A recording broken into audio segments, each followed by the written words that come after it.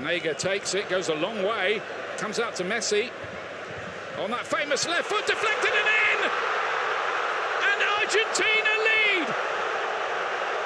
Well, this is just amazing stuff.